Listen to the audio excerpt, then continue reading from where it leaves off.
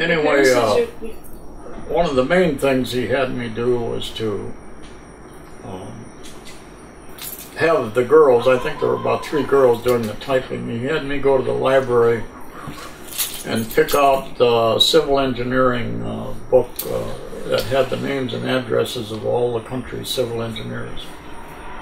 And he, he had the girls type those on a little uh, silk screen address. I, I don't know if you've seen them, but in those days you just type on this little silk screen and then you put it on a device and it would it would uh, address an envelope. Right, like an addresso type. Yeah.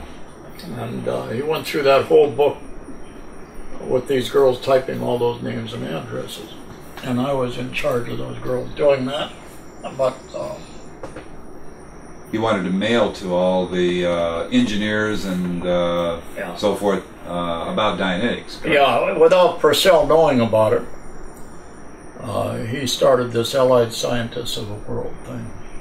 It was Allied Scientists of the- Allied Scientists of, of the World. world. Right, I've heard of that, but uh, And um, I got woke up about three o'clock in the morning one morning, and he handed me a plane ticket and said, "Go on to Denver." The girl I hired to take charge of the office there uh, uh, disappeared.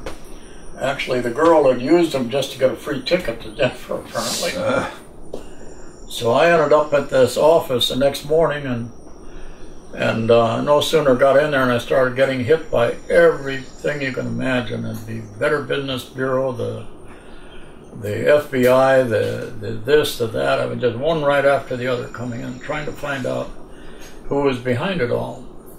And Hubbard didn't want his name associated with it. So about the same time, I got a hold of Hubbard on the phone and told him that my friend Ross Lamoureux was in charge of processing. He was a friend of, of Hubbard's too. He was a PhD in psychology. Ross had hired me to do auditing there too in the processing center.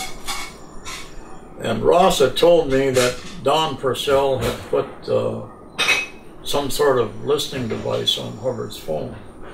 He was recording it. So I got that information. I called Ron and told him he was now being monitored by Purcell. And uh, I got pretty upset with the whole shooting match, so I called my wife tell her to come in and pick me up in the car. So she drove the first time in her life she ever drove on the highway.